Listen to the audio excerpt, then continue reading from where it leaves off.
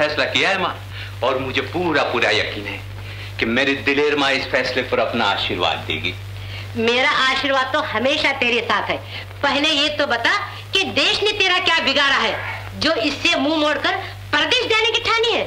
माँ पहले तू मुझे बता कि देश में रहने से किसका भला हुआ है जो मेरा होगा? पगले देश माँ की गोद के समान है। माँ की गोद में बच्चे को जो सुख शांति मिलती है मिल सकती है इस संसार में। कहीं भी नहीं मिल सकती माँ। इस संसार में तो क्या? स्वर्ग में भी नहीं। लेकिन वो गोद सगी माँ की हो तब। वरना आग लगे उस सौतेली माँ को। अब मतलब की बात कही ना। इसीलिए तो मैं परदेश जा रहा हूँ।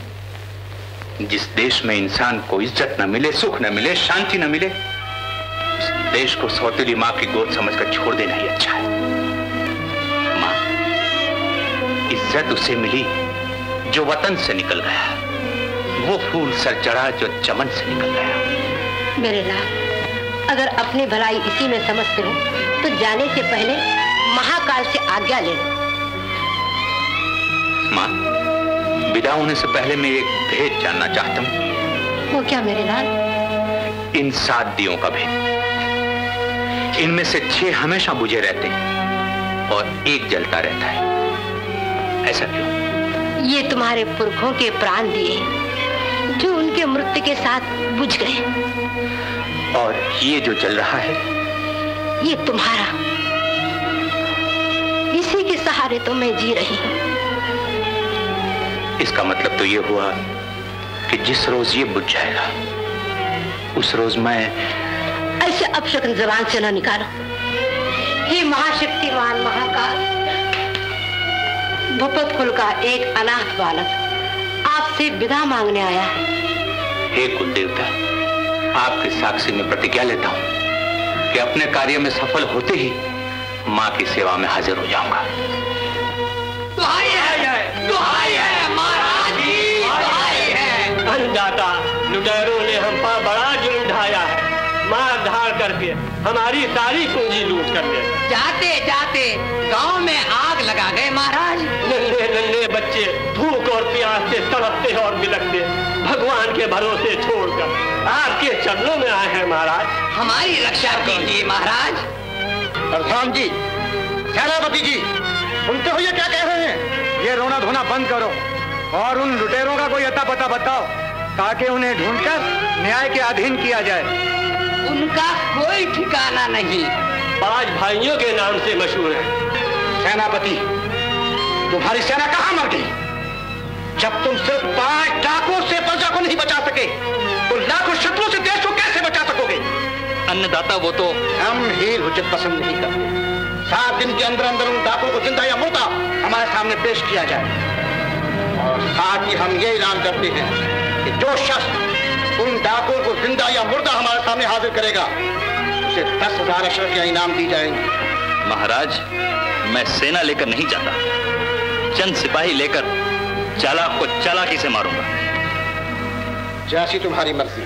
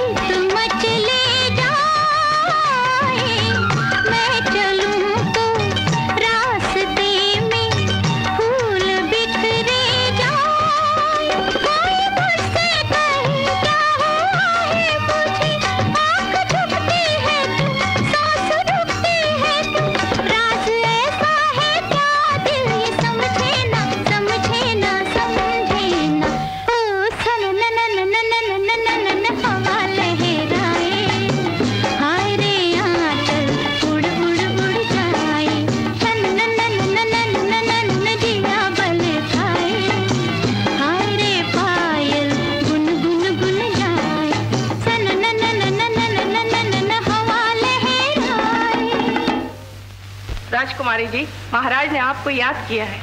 पिताजी ने सुबह सुबह महाराज ने क्यों याद किया है? वही बात होगी। कौन सी? शादी कर लो। मैंने सुना है चंद कुमारों की तस्वीरें आई हैं। शायद वो आपको दिखाना चाहते होंगे।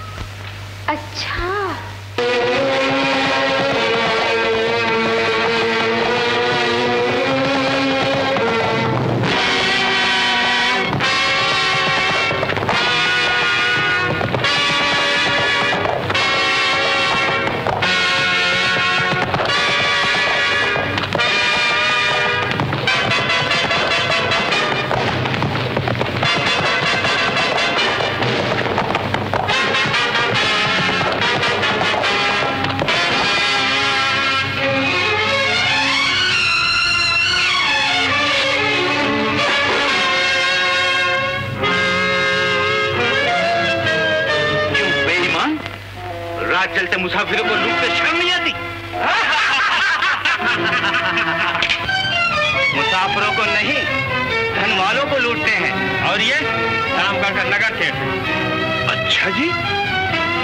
और आप लोग कौन आपने नहीं पहचाना? अब वो है जिनके सर के लिए। शामगढ़ के महाराज ने दस हज़ार अशरफी इनाम रखी है। खैरियत चाहते हो तो हमारे रास्ते से हट जाओ। अच्छा। कोई और होता तो आपके रास्ते से हट जाता। लेकिन आप तो बहुत बड़े लोग हैं। आपके रास्ते से नहीं सकता क्या देखते हो? पकड़ के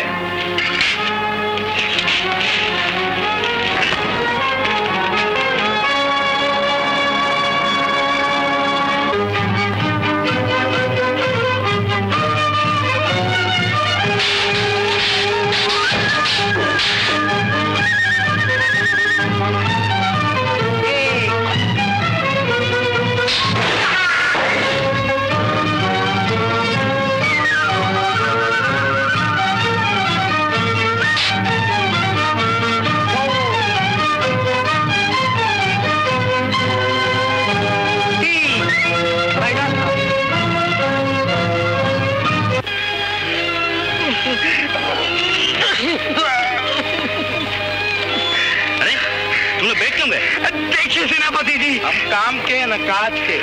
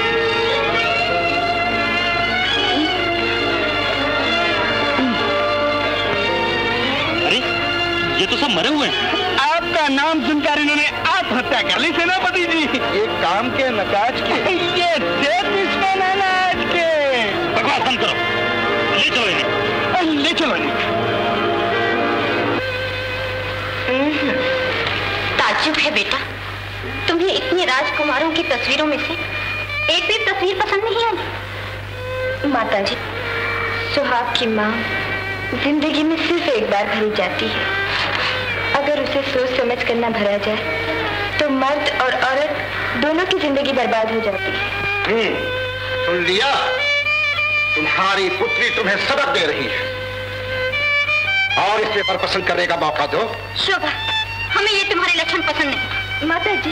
हम पूर्णमासी के दिन इस महल में लगन मंडप देखना चाहते हैं। इतने अरसे में इन तस्वीरों में से अपना जीवन साथी पसंद कर लो। वरना महामंत्री के पुत्र शेर सिंह से तुम्हारा विवाह कर दिया जाएगा। पिताजी मेरा फैसला और तुम्हारे पिताजी का एक ही फैसला।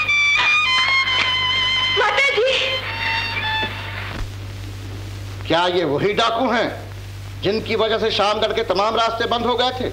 महाराज इन बदमाशों पर फतह पाने के लिए मुझे क्या क्या दुख उठाने पड़े ये मेरा ईश्वर ही जानता है। हम भी जानते हैं सरकार। तुम क्या जानते हो? यही कि आपकी तलवार के साथ हमारी तलवार भी दुश्मनों को साफ़ कर रही थी। क्यों भैया? हाँ भैया। बेशक तुमने और सेनापति जी ने शामगढ़ के सर से एक बहुत बड़ी मुसीबत को दूर कर दिया। इसलिए सेनापति के साथ साथ तुम भी इनाम के हकदार हो। प्रधान जी दस हज़ार अशरफियाँ सेनापति को और आठ हज़ार अशरफियाँ इन बहादुर सिपाहियों को अभी मिल जाना चाहिए। जो आज्ञा महाराज। ठहरो। तुम कौन? ये कौन? मैं एक गरीब राजपूत हूँ जो नौकरी की तलाश में घर से निकला और इन डाकुओं ने तुम्हें रास्ते में लूट लिया। यही कहना चाहते हो ना? अब शामगढ़ के रास्ते से यह खतरा हमेशा के लिए मिट गया है। अच्छा जी। ये सब कौन है? वही डाकू जिनकी वजह से शामगढ़ के तमाम रास्ते बंद थे। अब आप आग बंद कर कर आ जा सकते हो। हम्म कह चुके तुम लोग? इनके बारे में तो हम बहुत कुछ बोल सकते हैं क्यों भैया? हाँ भैया। अब तुम चुप होने का क्या लोगे? ये तो कोई मालदार भिखारी मालूम होता है। ज़रूर कुछ दाल में काला है। महाराज ये डाकू जंगल में एक बूढ़े मुसाफिर पर हमला करना चाहते थे। छोड़िए इस किस्से को। गरीब मुसाफिरों पर हमला करने वाले खुद आज तुम्हारे चरणों में पड़े हुए काम के ना काज के ये सब मिट गए दुश्मन अनाज के। क्यों भैया? खूब। एक बोलता है दूसरा निभाता है। महाराज फरियादी को फरियाद करने का मौका दीजिए। हाँ नौजवान तुम क्या कहना चाहते हो? महाराज उस बुरे मुसाफिर को बचाने के लिए मैंने अपनी तलवार खींची। और इन डाकुओं को मैंने मारा है। क्या कहा? तुमने मारा? सेनापति जी तो कहते हैं कि हमने मारा। प्रधान जी सुना आपने? नौजवान इन डाकुओं को मारने का तुम्हारे पास क्या सबूत है? सबूत? प्रधान जी अपने सेनापति जी से पूछिए। इनके नाक और कान कहाँ है? महाराज इनके नाक और कान दोनों गायब। तुम बता सकते हो कि इनके नाक और कान कहाँ हैं? हैं? इनके नाक और कान नाक और कान काटकर हमें सेनापति जी चील और कौओं को खिला दिए। झूठ। हाँ तो क्या तुम बता सकते हो? हाँ महाराज इनके नाक और कान इस सेवक के पास है। ये देखिए।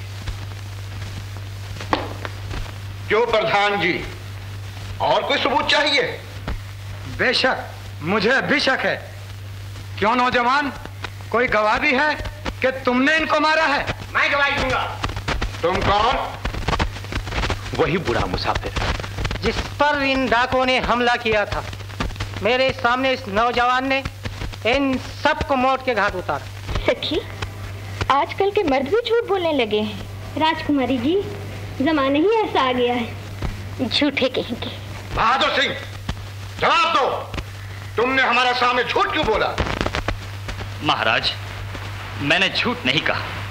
ये बूढ़ा और नौजवान हमें झूठा साबित करके इनाम की दस हज़ार अशरफियाँ आपस में बांट लेना चाहते हैं। बेशक अन्नदाता ये बूढ़ा और नौजवान झूठ बोल रहे हैं। वो डाकू जिसने बड़े बड़े बहादुरों के दांत खट्टे कर दिए क्या ये अकेला इन्हें मार सकता है? और तुम कितने थे? मेरे साथ दस सिपाही थे महाराज। ठीक है। हाँ बहादुर नौजवान इस बारे में तुम क्या कहना चाहते हो? महाराज इसका फैसला यही हो सकता है। वीर की तलवार जंगल हो या घर दोनों जगह बराबर चलती है। आप इन्हें आज्ञा दीजिए दस के दस मेरे मुकाबले पर आए। हाँ ये भी ठीक है। बहादुर सिंह हम तुम्हारा और तुम्हारे इन सिपाहियों का इम्तिहान लेना चाहते हैं। निकालो तलवार बढ़ो आगे। इन लाशों को यहाँ से हटा दिया जाए। हे भगवान मेरे लाल का प्राण दीवार आज क्यों थर थर आ रहा है? ओह एक के मुकाबले में दस। तुम दस और ये एक। अगर तुम्हारी फतह हुई तो नौजवान मरने ना पाए। हाँ नौजवान अगर ताकत और तलवार ने तुम्हारा साथ दिया तो हमारा भी कोई सिपाही मरने ना पाए। महाराज अगर इन्होंने दुश्मन से काम ना लिया तो? हमें उम्मीद है कि हमारे सेनापति और सिपाही धर्म का दामन ना छोड़ेंगे। हमें तो सिर्फ़ झूठ और सच देखना है नौजवान। देखते क्या हो मेरे बहादुरों? इज़्ज़त का सवाल है। चलो देखिए सेनापति जी ना हम वहाँ लड़े थे और ना अब यहाँ लड़ेंगे। जितना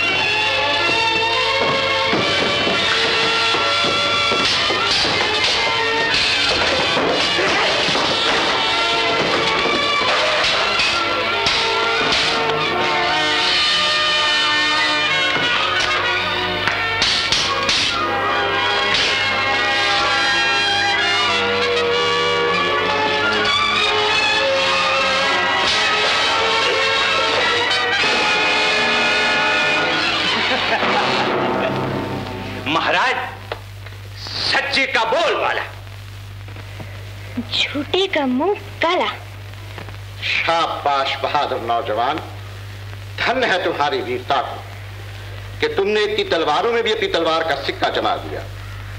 प्रधान जी वो इनाम इस बहादुर नौजवान को दिया जाए। आज से हम इसे अपने दरबार में शामिल करते हैं। इसके रहने सहने का खास इंतज़ाम किया जाए।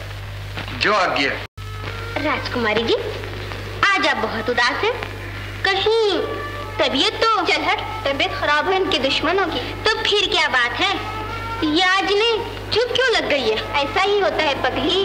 जब दिल बोलता है तो जबान खामोश हो जाती है। अच्छा तो ये बात है। बड़ा ही भाग्यवान है वो मुसाफिर। जिसने हमारी राजकुमारी जी का दिल अब दिल कहाँ रहा चपला? अब तो दिल की जगह दहकता हुआ अंगारा है। जो मेरे तन मन को भूखे डाल रहा है। हाय दिल आया भी तो किस पर? नज़र टकराई भी तो कहा? वो एक आवारा मुसाफिर और आप इतने बड़े राजपाट के राजकुमारी। प्रेम का देवता अंधा है। ये लो वो आ गए।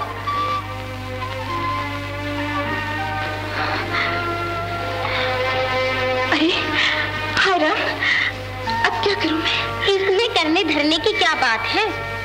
कुछ वो चल के आए हैं कुछ दो चार कदम आप आगे बढ़िए।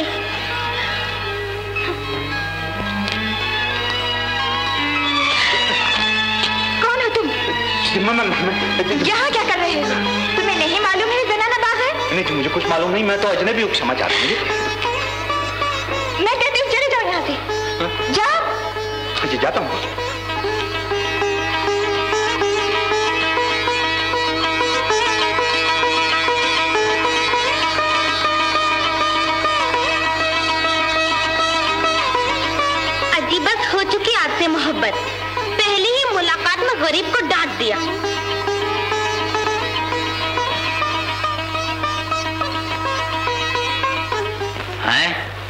ये यहाँ क्यों? होशियार हो जाओ शेर सिंह जी। तुम्हारी बचपन की साथी राजकुमारी इसकी वीरता और सुंदरता पर बुरी तरह मर मिटी है। हम्म। राजकुमारी कहाँ है? और सब तो चली गई है।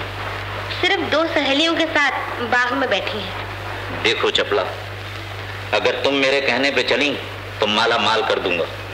आज शाम को तुम मुझसे मिलो। अरे तूने तो बेकार ही मेरे सिर में फूल लगा दिए क्यों? फूल मेरे बालों में नहीं। ये तो बाग में अच्छे मालूम होते हैं। क्या कहा राजकुमारी जी? जरा ऐना तो देखिए। अगर तिल अपने आप पर नहीं आ जाए तो मेरा जिम्मा। लाओ ऐना। नहीं। जिन्हें अपने हुस्न पे भरोसा होता है वो आईना नहीं दूसरों का दिल देखते हैं। आप? हाँ। क्यों? कुछ नहीं। मगर ये ठंडी साँसें क्यों भरी जा रही हैं? अगर बचपन का साथी फूल के बजाय हाथ पर दहकता हुआ अंगारा रख दे तो क्या मैं सिसकी भी ना भरूं? मुझे जाने दीजिए। अब हम इतने गए गुजरे हैं कि तुमसे दो घड़ी बात भी नहीं कर सकते। बचपन बीत गया मगर तुम्हारी शरारतें न गई। बचपन हाय वो भी क्या दिन थे।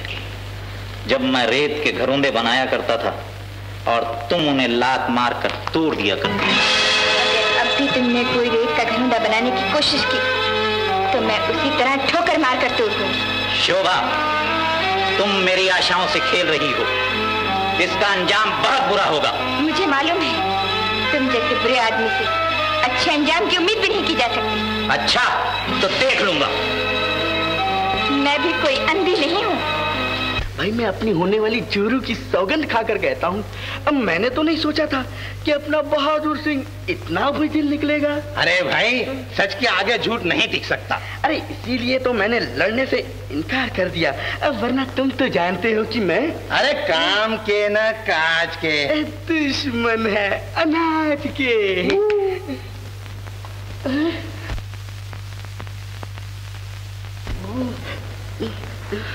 अरे ये झूठों का सरदार इधर किधर? चलो फिर चल के देखें। देखें। चलो। मर्दों के नाम से कानों पे हाथ धरने वाली राजकुमारी अब बुरी तरह गिर चुकी है। तुम साय की तरह हर वक्त उसके साथ रहो और एक एक पल की मुझे खबर दो। जब तक इस पत्थर को रास्ते से न हटाओगे तुम्हारी कामयाबी की कोई आशा नहीं। तो मैं उसे इस दुनिया से हटाकर ही दम लूँगा। किसे इस दुनिया से हटाना चाहते हो शेर सिंह? उसे जिसने भरे दरबार में तुम्हें नीचा दिखाया और अब मेरे रास्ते का पत्थर बना हुआ है। अगर उसे मिटाना चाहते हो तो मैं भी तुम्हारे साथ हूँ। तो आज ही रात को उसके सीने में खंजर बिठा दिया जाए। मिलाओ हाथ। सुनिया तो क्या परदेसी का सफाया?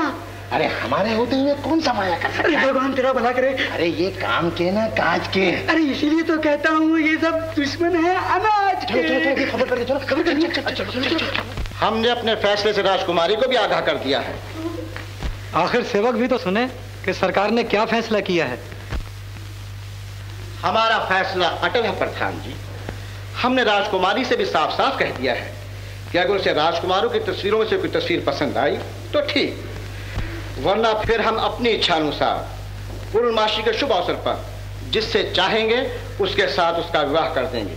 आम के न ताज के और ख्वाब तख्तो ताज के।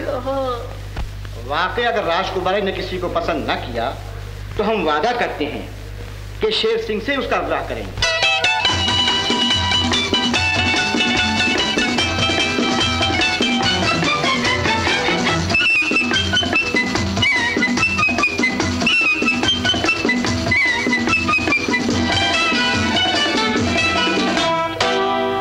नज़र टकराई। दिल ये किस पर आया? कहाँ? मैं कहाँ? दिल ने कहाँ उलझाया? कहाँ नज़र टकराई? दिल ये किस पर आया? कहाँ? मैं कहाँ? दिल ने कहाँ उलझाया?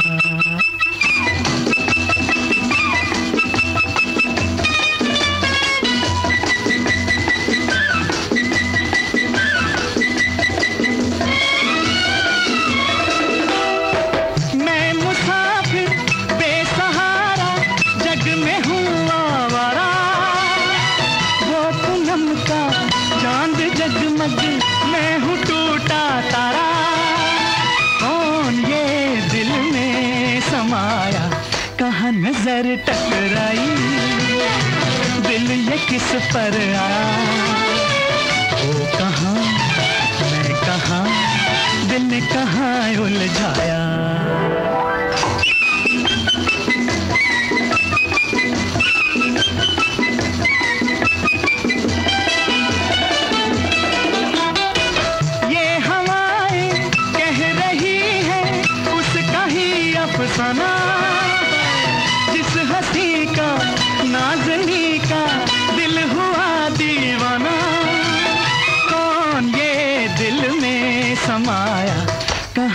नज़र टकराई, दिल ये किस पर आया? वो कहा, मैं कहा, दिल ने कहा उलझाया?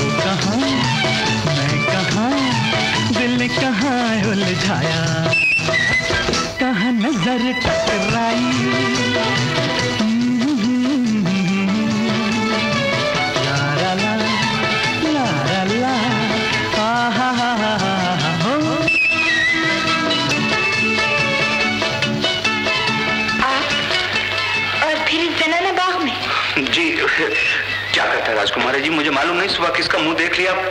सगर उस तरफ़ गया तो आप मिली शाम को इस तरफ़ आया तो फिर आप मिल गई। फूल कितना सुंदर है। पसंद है आपको? बेशक।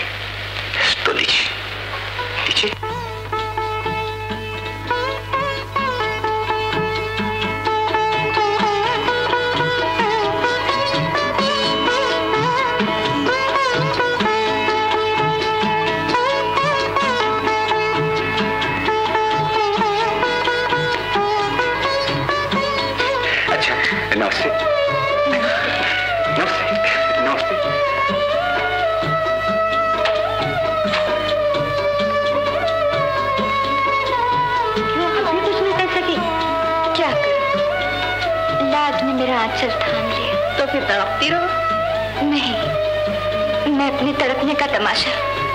दुनिया को नहीं दिखाऊँगी। तो फिर मैं अपने दिल के साथ अपनी जान का भी खात्मा कर लूँगी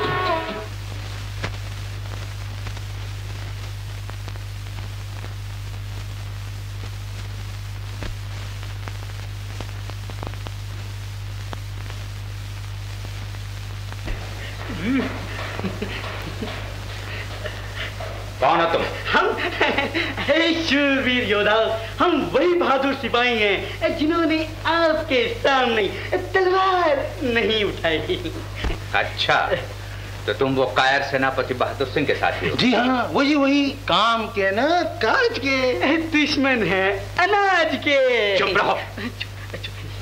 सच सच बताओ किस नियत से तुम दोनों यहाँ आए हो? एक बात करनी है क्या बात है? वो बात ऐसी है कहे तो माँ मारी जाए। नहीं तो बाप कुत्ता खाए। इसीलिए तो सोचना पड़ता है। कहे या न कहे। क्योंकि हम ठहरे सेनापति के नौकर उस पर भी हम काम के ना काज के। दुश्मन है अनाज के। उल्लू बेवकूफ़ निकल यहाँ आज रात को कुछ होने वाला है। अच्छा जी चले अच्छा ठहरो ठहरो। अब लगी है अच्छा। ये बात है।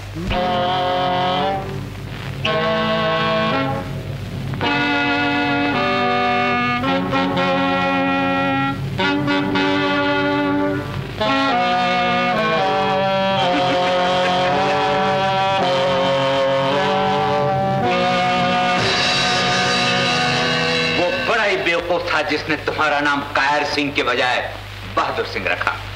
अब नहीं बच सकता है तू। वो तो अभी देख लेंगे कौन बचता है और कौन मरता है। ओ शेखी खोरे दरबार में तो बच गया था मगर अब नहीं बच सकता है तू।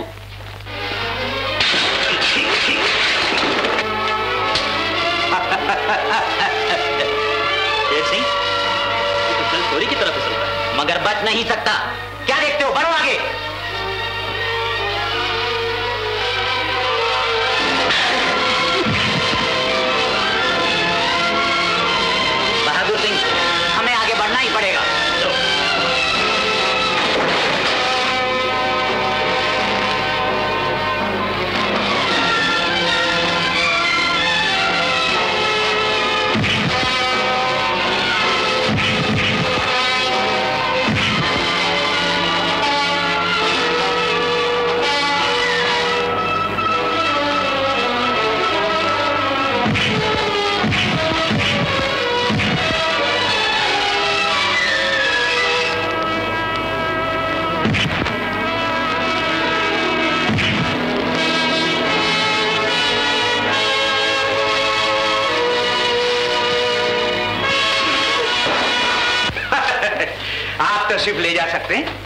जय राम की।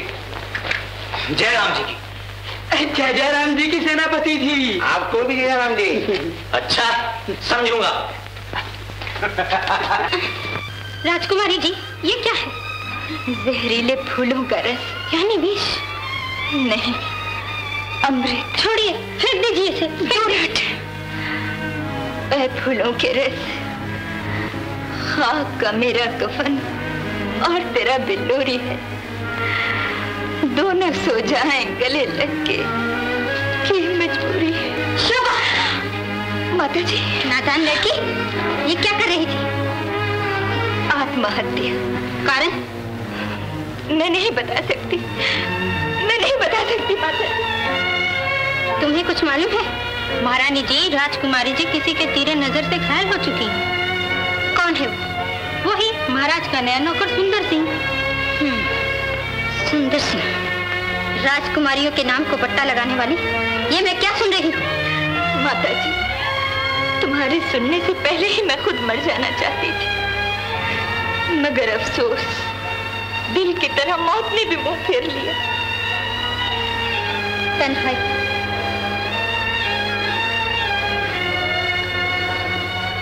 शोभा तुम्हारी और उसकी कभी मुलाकात हुई है? मरतबा माता जी।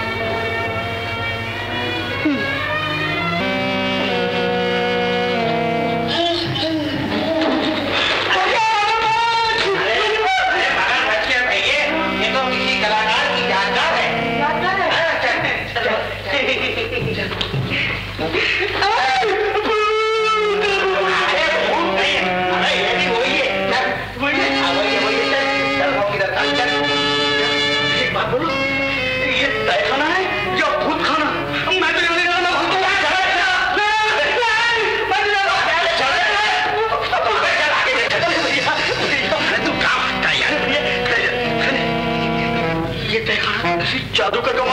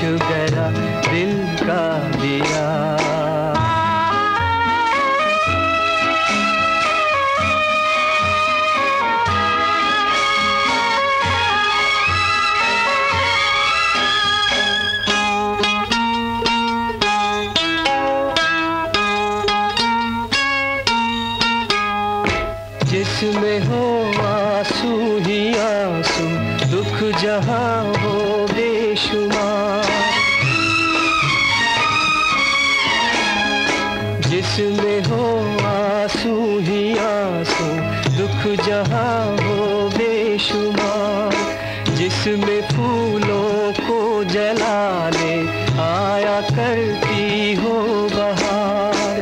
मेरे मालिक लेके ऐसे ज़िंदगी को क्या करूँ क्या करूँ?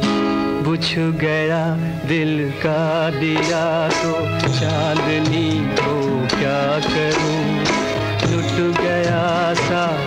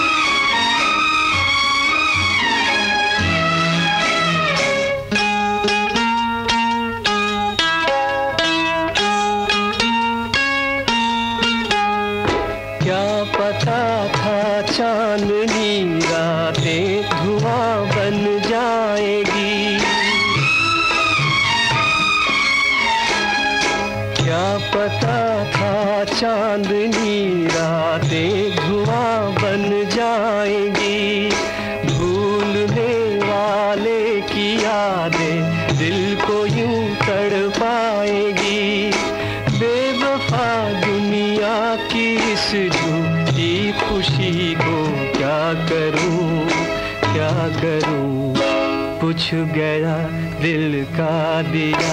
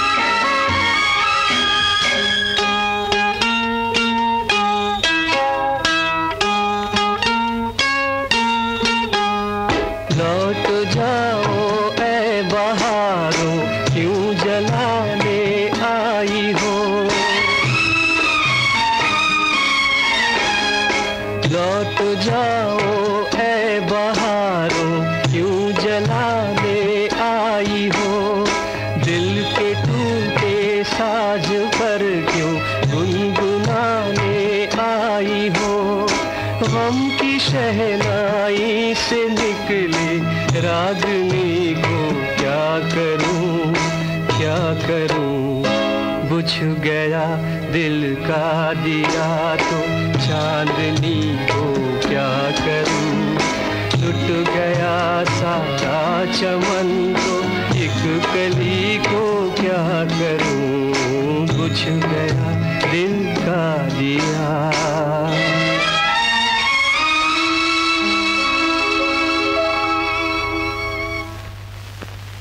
बुलबुल निसार होता है गुल, हाय बाग पर।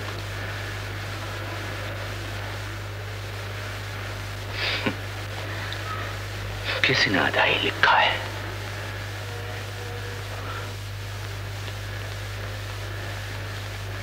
मैं पूरा करता हूँ इसे।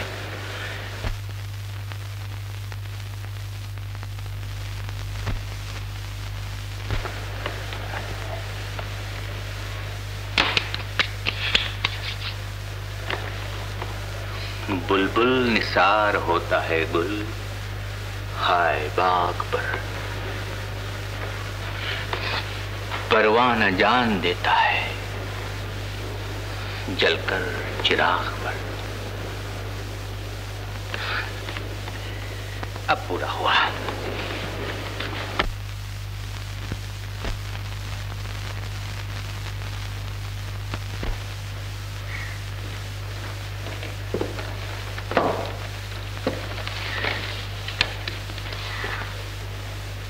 बुलबुल निसार होता है गुलहाय बाग पर।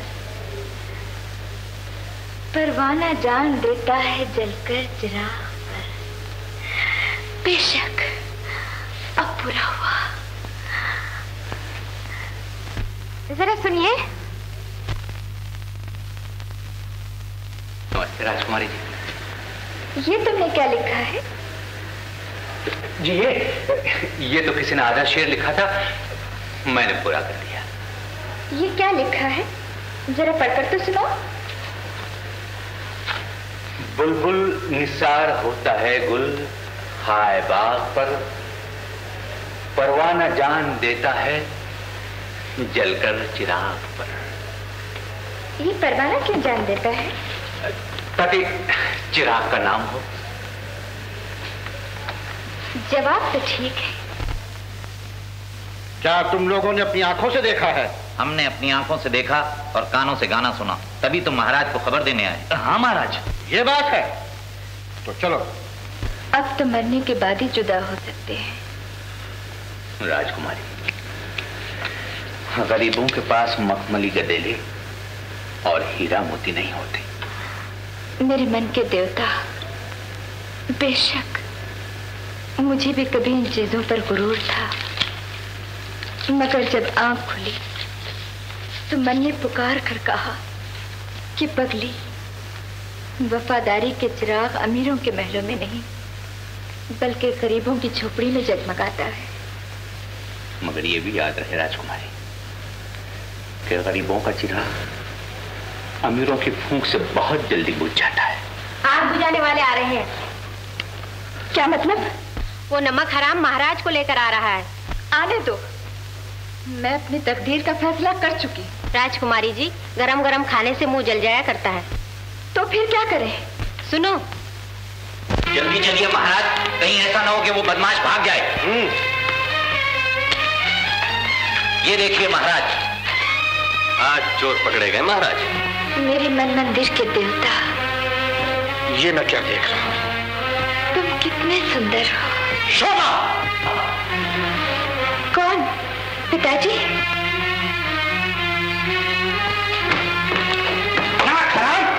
अरे ये क्या? वो कहा है? कौन पिताजी? बहादुर सिंह और शेर सिंह ने हमें खबर दी। कि बाग में तुम्हारे साथ सुंदर पिताजी ये इल्ज़ाम लगाकर हमको बदनाम करना चाहते हैं। बाग के चारों तरफ़ पहरा है। कैसे आ सकता है? ये भी ठीक है। शेर सिंह बहादुर सिंह जवाब दो। कहा है सुंदर? महाराज वो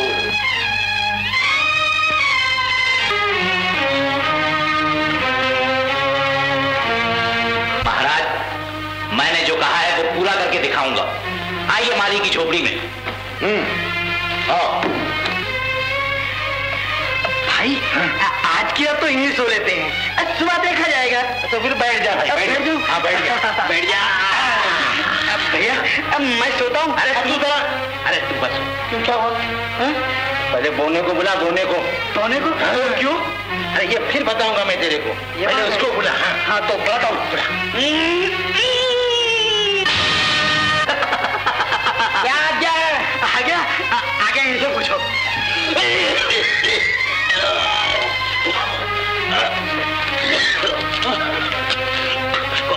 महाराज। महाराज गरीब की झोपड़ी में। शेर सिंह महाराज कहाँ है वो? तो कौन कौन कौन महाराज? महाराज झूठा मक्का।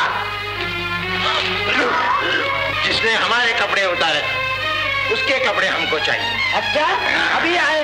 महाराज मैंने अपनी आँखों से देखा है उन्हें और कानों से उसका गाना सुना। तुम झूठ बोलते हो। इस पे भी अगर झूठ बोलूँ तो इस दुनिया में भूखा और नंगा। अरे ए, ए भगवान ये क्या? अरे क्या बात है? अरे भागो भैया तुम्हारी नीयत का फल।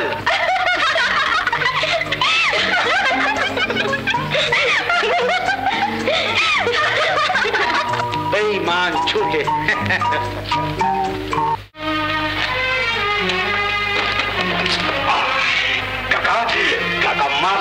लेकिन मेरी मुश्किल के साथ तुम्हारी भी आसान हो गई तकलीफ़ माफ़ अरे तेरी मुश्किल तो आसान होगी लेकिन मेरी मुश्किल का क्या?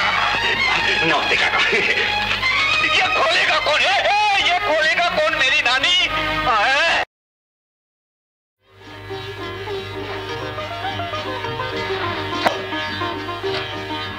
तुम दोनों जाओ और अपनी बहादुरी का सबूत दो। हमें देखना है कि किसके नसीब में फतह लिखी है। काम के ना कहा के ये दोनों हैं दुश्मन अनाज के। वीर सिंह और वीर सिंह इनको तो महाराज ने बंदी खाने में डाला था। ये बंदी खाने से भाग निकले हैं। सिपाहियों गिरफ़्तार कर लो इनको। महाराज इन्हें बंदी खाने में क्यों डाले? हमने इन पापियों का साथ छोड़कर तुम्हारा साथ क्यों दिया? इसलिए हमें महाराज से बुरा बना दिया। कुछ भी हो मुजरिम आज़ाद नहीं रह सकते। सिपाहियों गिरफ़्तार कर लो इन्हें। अच्छा देखो मज़ा।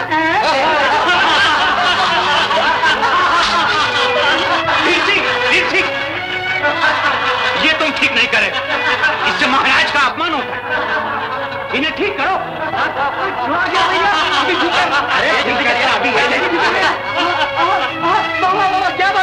है। भैया ठीक हो महाराज, इन्हें माफ़ कर दिया जाए और मेरे साथ जाने की आज्ञा दी जाए।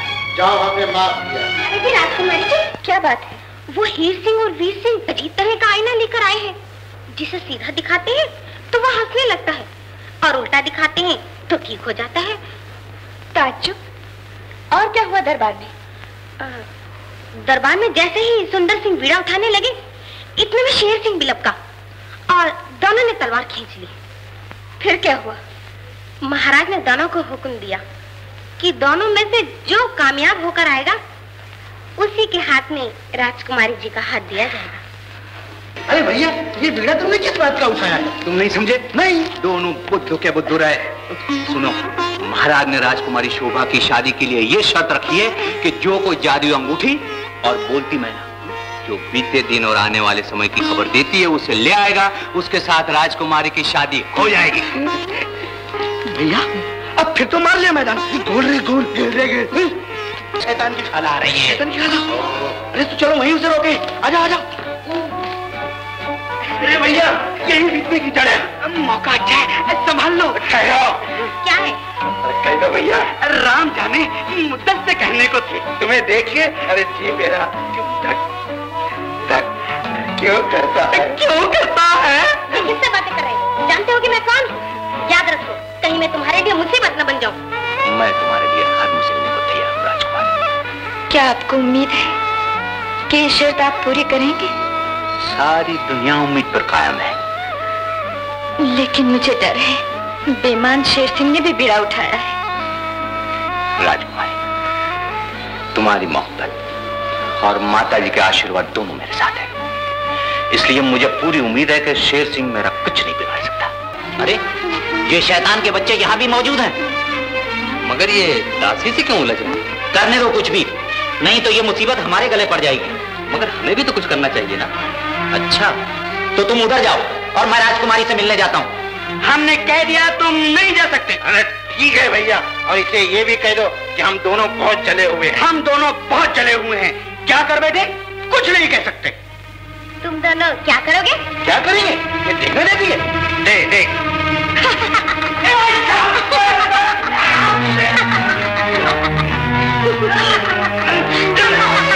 लेकिन राजकुमारी मैं गरीब लेकिन गरीब का दिल आईने की तरह साफ़ होता है। आखिर चोर पकड़े गए ना? कैसा चोर? ये जो सामने खड़ा है क्या आप भी मेरी आँखों में धूल झोंकना चाहती हो? जबान बंद मक्का।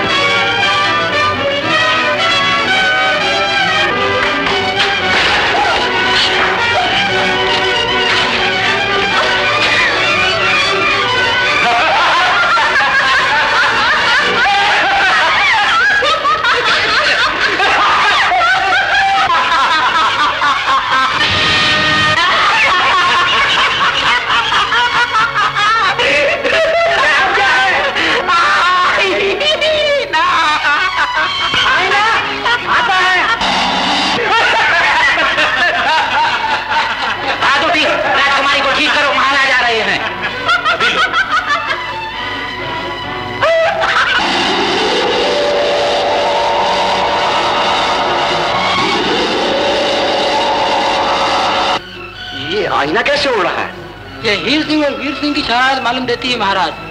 हीर सिंह और वीर सिंह? ठीक है आओ।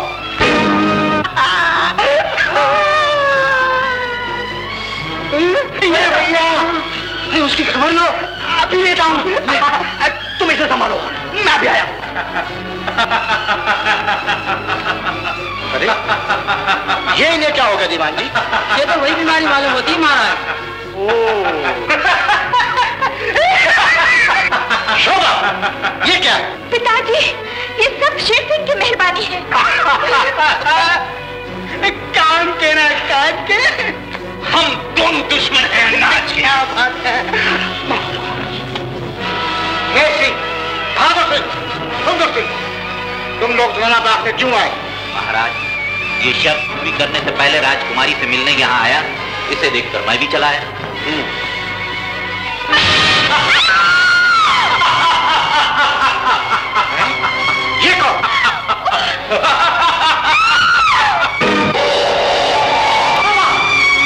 शोभा शोभा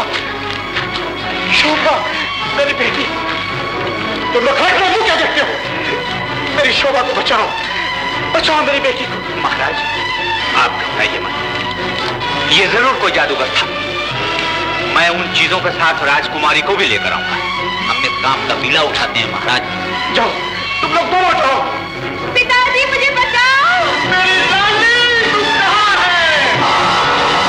अरे कोई मुझे करवट तो दिला दो।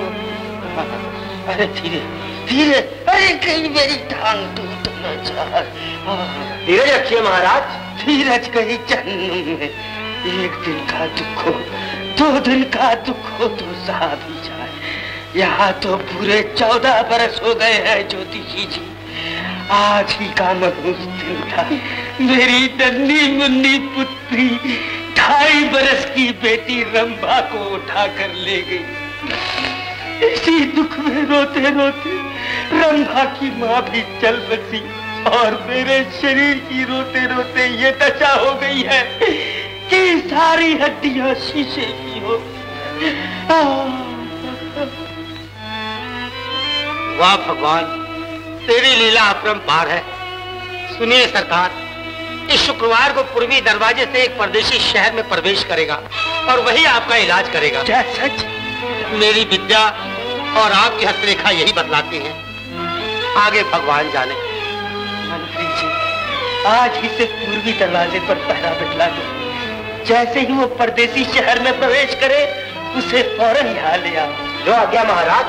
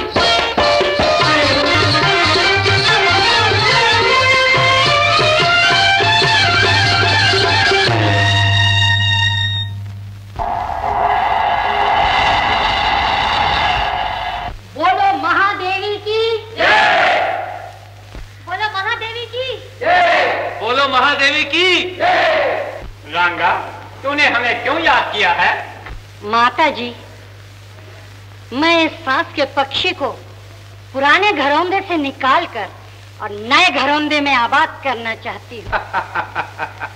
रांगा मृत्यु लोगों में बड़े बड़े देवता पैदा हुए। वो अगर चाहते तो अपना शरीर बदल सकते थे परंतु ईश्वर के बनाए हुए कानून को वो भी न तोड़ सके। वो तो ना तोड़ सके। मगर माता तुम्हारी ये दासी इस कानून को तोड़कर मौत के देवता को भी धोखा देकर दिखाएगी। रांगा जितना तू मौत से दूर भागना चाहती है उतना ही मौत तेरे नज़दीक आ रही है। क्या कहा माता मौत? मेरे नज़दीक आ रही है। हाँ। मेरी मौत किसके हाथ से? अपने मिटाने वाले को देखना चाहती है तो ले देख।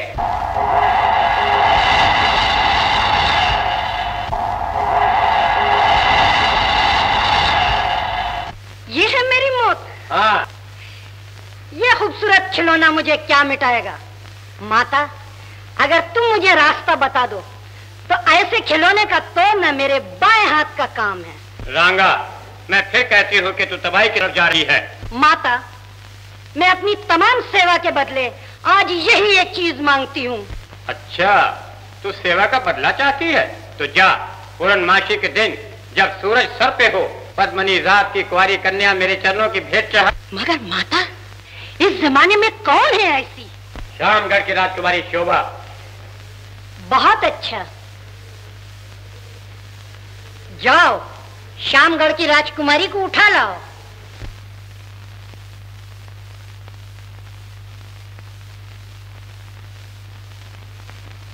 आप लोग कौन हैं? कहाँ से आ रहे हैं? हम लोग श्यामगढ़ से आए हैं और आपके महाराज के मेहमान। आप हैं श्यामगढ़ के प्रधान पुत्र शेर के और आप हैं श्यामगढ़ के सेनापति बहादुर सिंह। तब तो आप लोग वो नहीं। कौन नहीं है?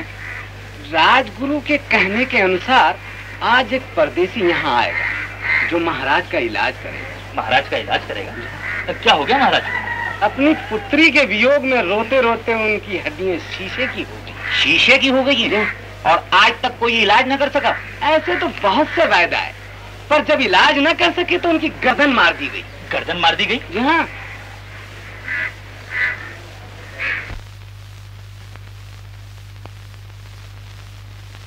घबराइए नहीं।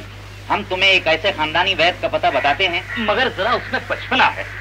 जब तक के सौ जूते न खा ले अपने वैद होने की हामी नहीं। वो देखो वो आ रहा है।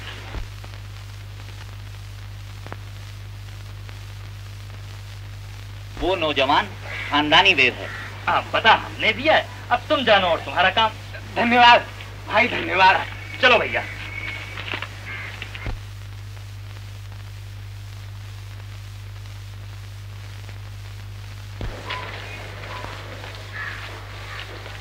पधारिए पधारिए वैदराज जी पधारिए आप ही का इंतज़ार। था भैया ये क्या मुसीबत है? मुसीबत मुसीबत कुछ ए भाई साहब आपका दिमाग तो ठिकाने आप किसे वैदराज कह रहे हैं? उसे तो खानदानी वैदराज होने पर भी।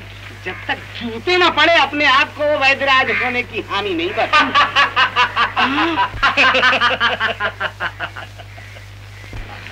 समझा। इन मकारों ने चाह तो अच्छी चली है। भाई अब तो हाँ मान लेने में भलाई है। अच्छा भाई साहब आपको क्या तकलीफ़ है? मुझे कोई तकलीफ़ नहीं है वैदराज जी। हमारे महाराज की हड्डियाँ शीशे की हो गई हैं समझे? महाराज की हड्डियाँ शीशे की हो गई हैं? हाँ, अरे ये तो नई मुसीबत है। अच्छा भाई साहब मैं वैद मेरा नाना वैद मेरा दादा वैद मेरा खानदान बुला लो चलो बुला लो। अब आए रास्ते पर। सच कहा है किसी ने?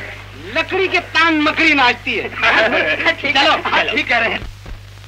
तुम लोगों ने शामगांव का कोना कोना तलाश किया पर कहीं राजकुमारी शोभा का पता नहीं लगा? ये लोग उसका पता नहीं लगा सकते। क्यों? इसलिए कि वो मेरी कैद में। तुम्हारी कैद में? हाँ जब तुमने और रंभा ने मेरी खुशामदों का कोई जवाब नहीं दिया तो मैंने उस मैना से जो बीते दिन और आने वाले समय की खबर देती है मालूम किया कि एक दिन तुम्हें शामगढ़ की राजकुमारी शोभा की ज़रूरत पड़ेगी। तो मैं उसे उठा लाया। समझी। इसलिए तुमने लाकर उसे कैद किया। अगर तुम उसे हासिल करना चाहती हो तो रंभा का हाथ मेरे हाथ में देना होगा। सियालू रंभा मेरे अंधेरे घर का चिराग है। और वो चिराग तुझ जैसे जालिम के हाथ में देना नहीं चाहती। किसे बना रही हो? रंभा तुम्हारी बेटी नहीं। सुंदरपुर के महाराज अर्जुन सिंह की बेटी है, जिसे तुम अपने बांझपन का दाग मिटाने के लिए उठा लाई थी, जिसके कारण उसकी माता उसी वक्त मर गई और पिता आज तक एड़ियाँ रगड़ रहा है। आखिर तुम्हें मालूम हो ही गया। अच्छा अगर तुम्हें रंभा चाहिए तो वो नौजवान जिसके हाथों महादेवी ने मेरी मौत बतलाई है वो और राजकुमारी दोनों को मेरे हवाले कर दो। मुझे मंजूर है। आओ उस बोलती मैना से उसका पता पूछें। हाँ देखो संभाल के अरे टूट न जाए। महाराज महाराज ये क्या हो गया है आपको? अरे भाई मेरी हड्डियाँ की हो गई हैं। हो गई है? हाँ। फिर तो टूट जाएँगी। हाँ, महाराज को ये बीमारी कब से है? ये बीमारी तो वर्षों से है। मगर आज तक कोई इनका इलाज नहीं कर सका। नहीं कर सका। रोहित जी मेरा दूसरा हाथ उठाकर ऊपर रख दीजिए। हाँ इलाज कोई नहीं कर सका। भैया बीमारी बीमारी कुछ नहीं है। खाली वहम है वहम। अच्छा तो वहम का इलाज हमारे पास है। महाराज अगर आपको मुझसे इलाज कराना है तो मेरी चंद शर्तें मंजूर करनी पड़ेंगी। जल्द बता मुझे सब मंजूर है। मंजूर है। तो एक चाबुक एक लाठी और चंद बाजे वाले मंगवा दीजिए। मंत्री जी जो कुछ ये मांगते हैं सब फ़ौरन मंगवाइए। जो आज्ञा महाराज मगर चाबुक किस लिए? चाबुक शीशे की गर्द झाड़ने के लिए। और लाठी? लाठी शीशों को नरम करने के लिए। और ये बाजे वाले? बाजे वाले छूके बात यह है कि इलाज के वक्त दर्दी को थोड़ी तकलीफ़ होती है तो चिल्लाता है तो बाजे बजते रहेंगे महाराज की तबीयत बहल जाएगी। क्या बात है बाबा तबीयत बहल जाएगी। शेर सिंह हमने उन बदमाशों को फंसा तो खूब दिया। वो महाराज का इलाज न कर सकेंगे लिहाजा मारे जाएँगे। और अगर यहाँ से बच गए तो रास्ते में खात्मा कर देंगे। तो चलो महाराज से मिले और उनका अंजाम भी देख लेते हैं। चलो। जैसे जैसे वीर सिंह का हाथ उठता जाए वैसे वैसे बाजे और भी ज़ोर से बजाते जाना। समझ गए? है बेटा? अच्छा जाओ। बाहर खड़े हो जाओ। वीर सिंह तुम दरवाजे पे खड़े हो जाओ और वीर सिंह। महाराज आप भी तशरीफ़ ले जाइए। ये क्यों? जैसे जैसे शीशा पिघलता जाएगा मुमकिन है किसी के शरीर में प्रवेश कर दे और लेने के देने पड़ जाएँगे। आप तशरीफ़ ले जाइए। जाओ। हाँ तो हिर सिंह तैयार। बिल्कुल। महाराज तो आपका इलाज शुरू किया जाए। अरे भाई जल्दी करो ना। हाँ। वीर सिंह बाजा बजाओ। अच्छा बाजा बजाओ।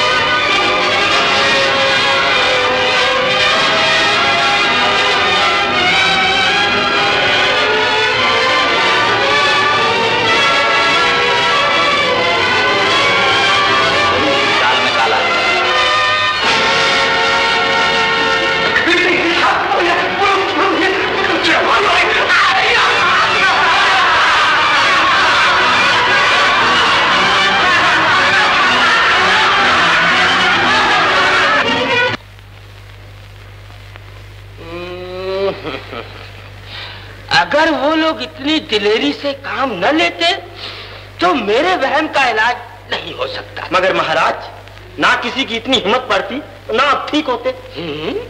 मगर महाराज जिन लोगों ने आपका इलाज किया है वो तीनों जादूगर कौन? हमारे मेहमान? जी हाँ महाराज। श्यामगढ़ के प्रधान पुत्र और सेनापति। शेर सिंह तुम्हें कैसे मालूम कि वो लोग जादूगर हैं? महाराज इन लोगों ने श्यामगढ़ के दरबार में भी गड़बड़ मचाई थी। और यहाँ आपके सिपाहियों को भी पागल बना दिया है। हैं? पागल बना दिया?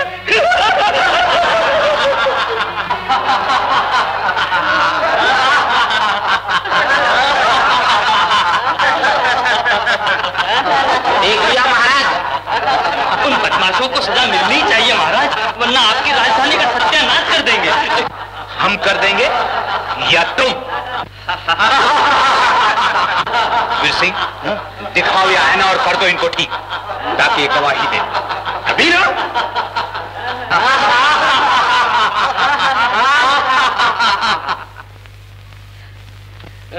बोलो तुम्हारी ये हालत किसने बनाई? आपके मेहमानों ने।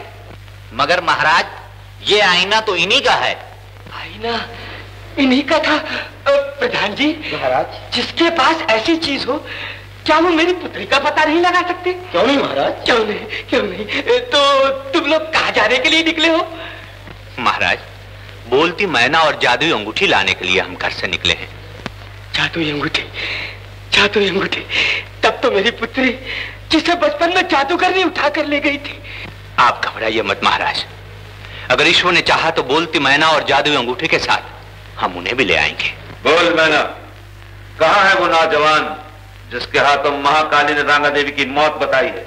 वो है पापा के पिता के महल में और रंभा को लाने की है। मेरी रंभा को ले जाने की सोच रहा है। रांगा देवी तुम राजकुमारी को लेकर चलो। मैं भी उसे लेकर आता हूँ। आपका बड़ा उपकार। होगा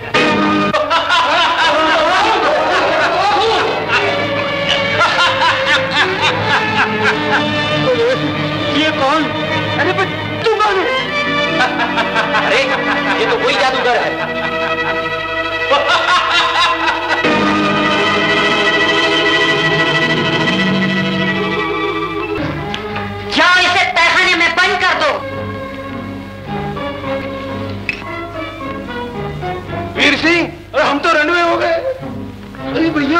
हमारी शादी को वो जादूगर ले गया। अब फिर तो पता पूछना ही पड़ेगा। हाँ पूछना ही पड़ेगा।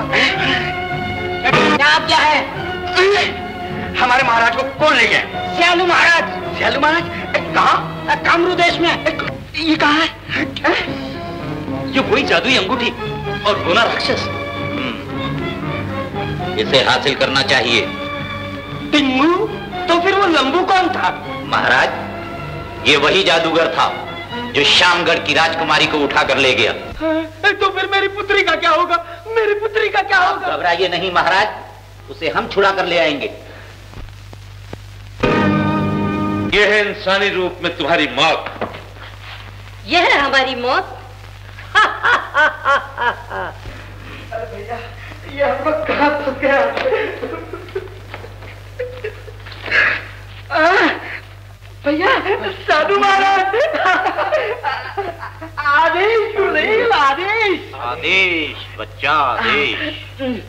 सिपाही की चढ़ती रहे और जमादार के बढ़ती रहे। गुरुदेव इस वक्त मौज में है।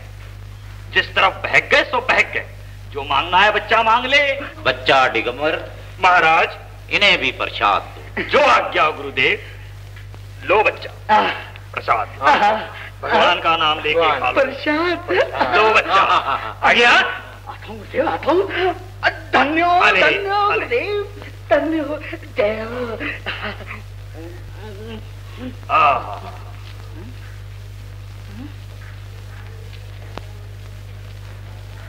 भैया मुझे तो नींद आ रही है। मुझे भी ऐसे ही आ रही है। गुरुदेव हम लोग थोड़ी देर यहाँ सो ले थोड़ी देर क्या तुम हमेशा के लिए सो सकते हो बच्चा? महाराज ये लोग तो गए। तो फिर देर किस बात की? उठाओ अंगूठी और आईना सटा सीताराम। है? ये क्या? कौन मेरी पुत्री? रंबा। ये तुमसे नहीं आफत है। बेशक वही है। तुमने ये क्या किया है रंभा? जानती हो ये कौन है? हाँ ये वो है जिसके हाथों से देवी ने मेरी माता की मौत बताई थी। फिर तुमने इसे क्यों बचाया? माता जी जो मेरी माता के लिए मौत बनकर आया था उसको मैं इस तरह आसानी से न मरने दूँगी। आप इसको मेरे हवाले कीजिए मैं इसे तरसा तरसा कर मारूँगी। मुझे तुमसे यही आशा थी कि तुम मेरा दुख अपना दुख समझोगी। परंतु ये बड़ा चालाक है। माता जी मैं भी आपके चरणों के प्रताप से कुछ कम नहीं। ये मुझसे क्या चालाकी करेगा? अच्छा इसे ले जाओ और जितनी जल्दी हो सके इसका सर काट कर मेरे पास भेज दो ताकि मैं इत्मीनान का सांस ले सकूँ। ऐसा ही होगा माता जी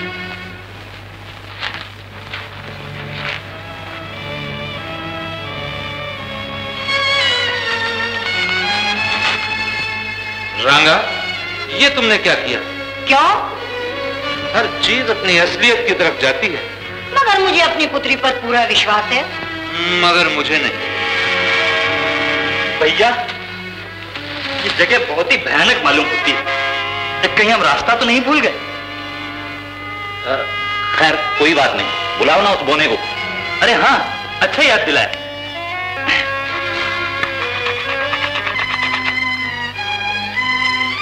भैया धोखे को धोखा दे गए अब क्या करें? कोई बात नहीं। आईना तो है अपने पास। हाँ। तो चलो। चलो। है तेरी की। तुम्हारा नाम? सुंदर। सियालू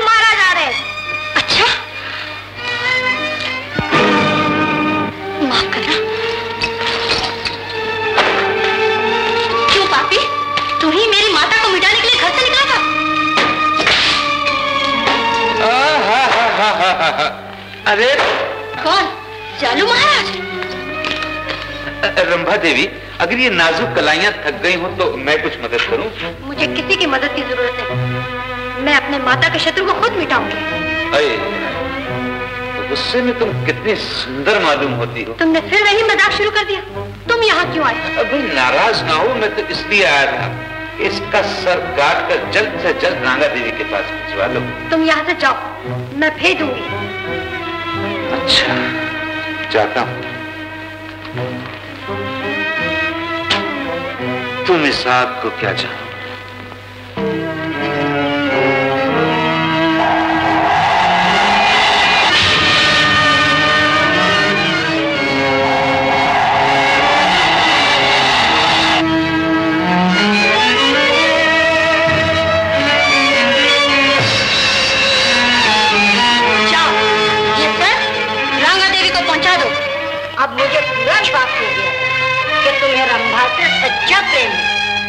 सच्चा प्रेम न होता तो शामगढ़ की राजकुमारी शोभा सुंदरता में रंभा से कहीं ज़्यादा। सच्चा प्रेम सुंदरता को नहीं देखता है सियालू। तुम खुद समझदार हो। रंभा देवी की जय हो। रंभा देवी ने शत्रु का सर भेजा है। मेरे शत्रु का सर मेरे चरणों में तुमने मुझ पर बहुत बड़ा उपकार किया है सियालू। ये तो मेरा फ़र्ज़ था। अ, मगर हाँ रंगा देवी अब हमारा लगन? घबराओ नहीं। पूर्णमासी के दिन जवान होते ही पहला काम तुम दोनों का लगन होगा। गुरुदेव। गुरुदेव भैया अरे भैया अरे भैया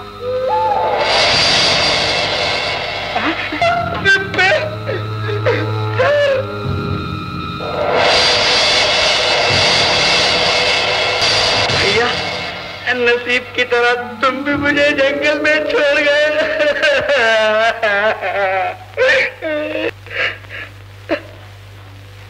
अंगूठी आई ना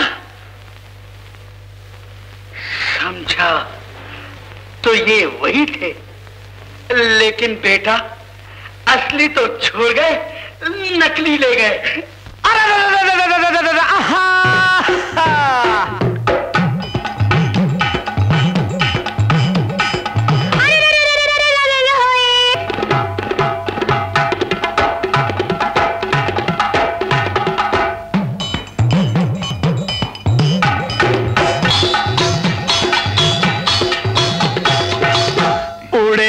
नैनो से गुलाल हुए गाल लाल लाल तेरी बहकी बहकी चाल बल खाने लगी। के ऐसी बार बार बंके न करे वार लगे जिया पे कटार जान जाने लगी। उड़े नैनो से गुलाल।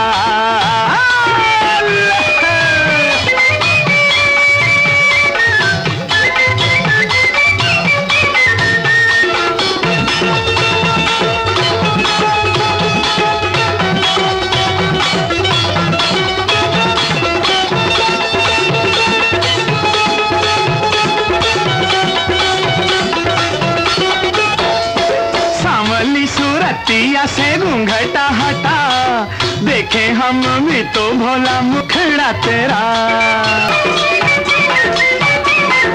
होय होय होय सांवली सूरतिया से घूंघटा हटा। देखे हम भी तो भोला मुखड़ा तेरा। चल चल हट जा रे बाके जुल्म पिया। अखियों से जिया पे ना जादू चला। ऐसी हो सूरतिया मोहिनी मूरतिया। फिर कैसे मन मामा चल जाए ना। ऐसे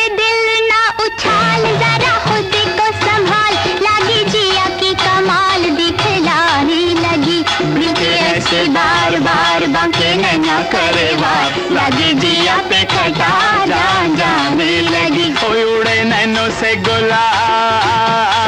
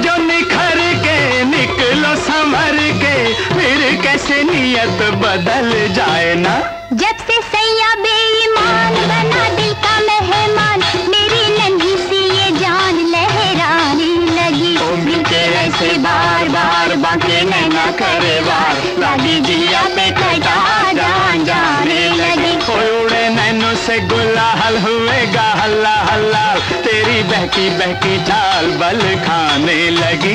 मिलके ऐसे बार बार बाके नैना करे वार लगी जिया पे कटा जान जाने लगी। कोई उड़े नैनो से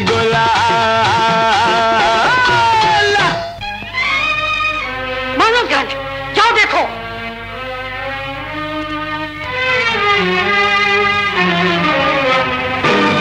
क्या क्या है? भैया अरे ये तो अपनी तरफ़ आ रहे हैं। निकालो आईना। हाँ। मेरा आईना। अभी लो। है, भैया। ये लो। आ, आ, क्या बात है? मिर्ची रोबोर यहाँ तक। ले जाओ इन्हें तहखाने में डाल दो। आखिर वो कौन है जिसकी याद तुम्हारे दिल से नहीं मिटती? जिसकी नज़रों ने मुझे अदना से आला बना दिया है। उसका नाम? श्यामगढ़ की राजकुमारी। शोभा। शोभा? जिसे सियालू महाराज उठा कर लाए हैं। क्या तुम मुझे उसका पता बता सकती हो? वो जो बेचारी चार दिन की मेहमान उसका पता पूछ कर क्या करोगे? रंबा जानती हो एहसान क्या चीज़ है? एहसान? मुसीबत का दरवाज़ा। दौलत और इज़्ज़त को खा जाने वाला रास्ता। नहीं नहीं रंबा सुनो क्या एक बार हम मुसीबत के मारों को मिला सकती हो? हर काम लालच से किया जाता है। जो खुद तुम्हारी दया का भिखारी हो वो तुम्हें क्या लालच दे सकता है? मैं धन दौलत के बदले दिल चाहती हूँ। रंभा मैं किसी की अमानत हूँ। आज उसको धोखा दो। कल तुम मैं ये नहीं चाहती कि तुम उसे छोड़ दो। लेकिन उसके साथ साथ मुझे भी सेवा करने का मौका दो। रंबा मेरी शोभा किसी के उपकार को भूलने वाली नहीं यही उम्मीद। अब मेरी ज़िंदगी का सहारा बनेगी। मैं अपनी जान देकर भी तुम दोनों को मिलाऊँगी। मगर वो है कहा? मेरी माता की कैद में। मैं तुम्हें तिलिस्मी हार देकर रास्ता बताती। आ मेरे साथ। ये लो तिलिस्मी हार। इसे पहनकर तुम दुनिया की नज़रों से गायब हो सकते हो। हाँ, लेकिन वो बोलती मैं ना? पहले शोभा को लेकर आ जब तक तुम नहीं आओगे मैं तारे गिनती रहूँगी।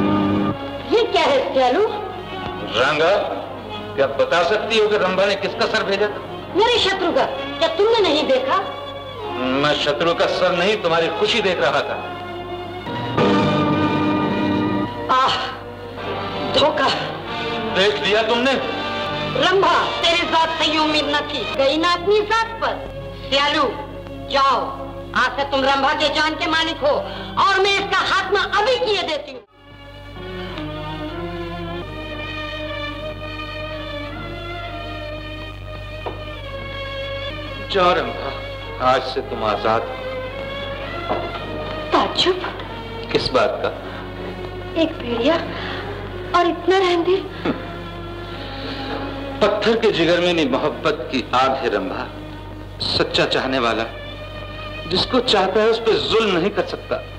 जब तुम मुझे इतना चाहते हो तो फिर शोभा को क्यों लाए? थे तुम्हें हासिल करने के लिए। मुझे मालूम हो चुका था कि रांगा देवी को अमर होने के लिए शोभा की ज़रूरत पड़ेगी। और उस वक्त मैं शोभा को देकर तुम्हारी पालक माता से तुम्हें मांग लूँगा। पालक माता? हाँ। क्या रांगा देवी मेरी माँ नहीं है? नहीं। अच्छी बात है। तो मैं किसकी पुत्री हूँ? जानना चाहती हो तो सुनो। तुम सुंदरपुर के महाराज अर्जुन सिंह की पुत्री हो जिसे रांगा देवी अपने बांझपन का कलंक मिटाने के लिए बचपन ही में तुम्हारी माता से तुम्हें छीन लाई थी और तिलिस्मी दुनिया में अपनी पुत्री जताकर पाला है। तभी उसने अपनी खुशी के लिए मेरी ज़िंदगी का सौदा किया है। बेशक रंभा। क्या तुम बता सकते हो मेरे माता पिता किस हाल में है? अफसोस कि माता तो तुम्हारी जुदाई में रो रो कर उसी वक्त मर गई। लेकिन पिता आज तक तुम्हारी याद में तड़प रहा। महामैया मेरी रक्षा करना। अगर मेरी सेवा की ज़रूरत हो तो मैं हर वक्त तैयार हूँ। लेकिन इतना ना भूलो रंभा कि औरत अपनी सेज पर एक फूल का बोझ बर्दाश्त नहीं कर सकती। सौतन का कैसे कर सकती है? तुम्हारा इशारा शोभा की तरफ़ है। बेशक।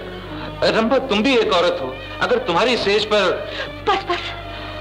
तो समझ लो जो सुंदर शोभा के कारण यहाँ तक आया है वो उसे छोड़कर तुम्हें प्यार नहीं कर सकता। ठीक है। मैंने चंद्रमा को पकड़ने की कोशिश की। ये मेरे फूल थे। अब मुझे अपने माता पिता का बदला लेना ही होगा। मैं एक शर्त से अपना हाथ तुम्हारे हाथ में दे सकती हूँ। मैं हर शर्त के लिए तैयार हूँ। तो फिर मैं रांगा देवी से अपने माता पिता का बदला लेना चाहती हूँ। उसने हमारा घर बर्बाद किया। मेरे माता पिता को बर्बाद किया। मुझे बर्बाद किया। तुम जो चाहो कर सकती हो रंभा। कौन? सिंह। हाँ कौन है ये? पकड़ो इसे। आओ बेटे।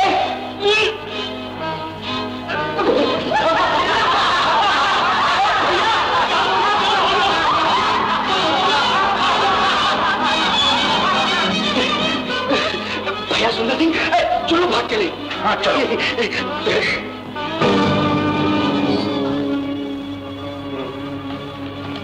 कौन रंभा? हाँ रंभा। मुझे आज पता चला है कि तू मेरी माता नहीं नागिन। तुमने अपना दिल ठंडा करने के लिए तीन जीवन बर्बाद किए हैं। मैं अपनी बर्बादी और अपने माता पिता का बदला लेने के लिए ही अपनी ज़िंदगी का चालू से सौदा किया है। ये सौदा मैं ज़िंदगी में कभी पूरा नहीं होने दूँगी।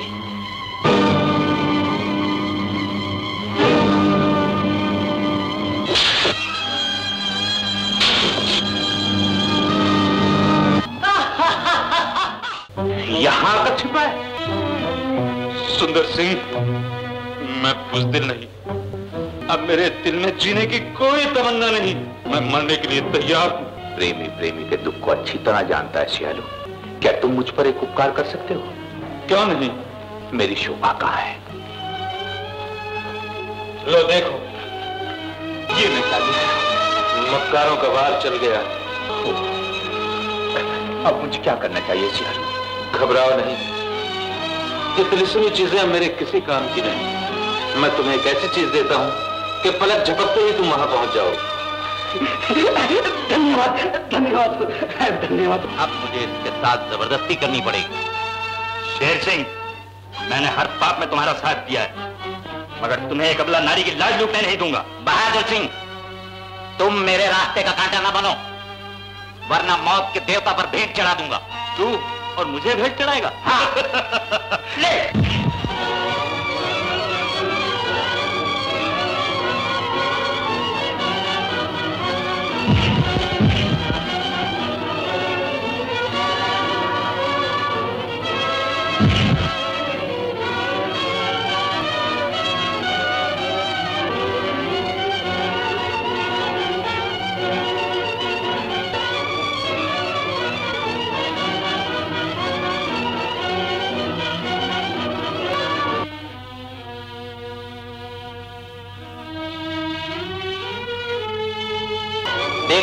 तुझे मेरे हाथ से कौन बचाता है?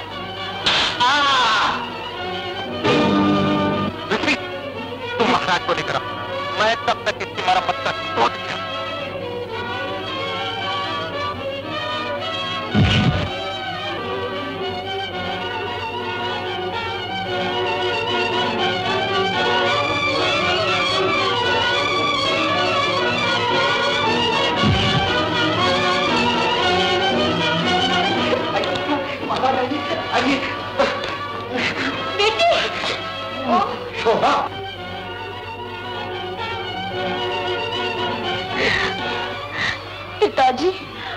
अगर सुंदर ना होता तो नमक हराम शेर सिंह ने मेरी लाज। नमक हराम को अपनी करतूतों का फल मिल गया।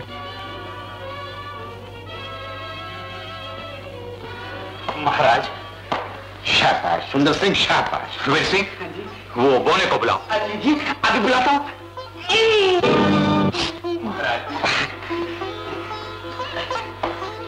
ये जारी अंगूठी ये बोना राक्षस और ये बोलती मैना जो बीते दिन और आने वाले समय की खबर देती है। धन धन है सुंदर सिंह धन। सुंदर सिंह हम भी अपनी शर्त के मुताबिक शोभा का हाथ तमाम उम्र के लिए तुम्हारे हाथ में दे रहे हैं हाँ? अरे भी इन बच्चों में हमारा क्या काम क्या काम? आ, चलो आओ आओ शादी की तैयारियाँ करें शोभा सिंह अब यहाँ तुम्हारा क्या काम है? इतनी मेहनत का यही फल? अरे वारी किस्मत।